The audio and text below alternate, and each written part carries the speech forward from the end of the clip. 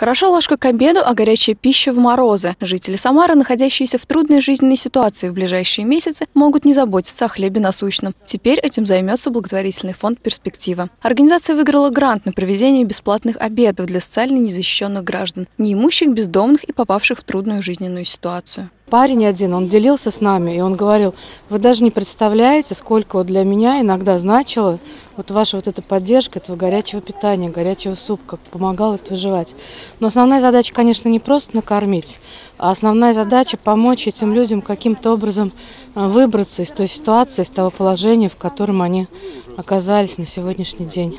Горячее питание, первое, второе и чай организовывают ежедневно, 7 дней в неделю, в разных районах города. Еду раздают из термобидонов прямо на улице. О том, где можно пообедать на этот раз во дворах и подъездах, рассказывают руководители ТОСов. Сами скитальцы говорят, для них это не просто еда. Главное – уверенность, что твоя судьба кому-то не безразлична.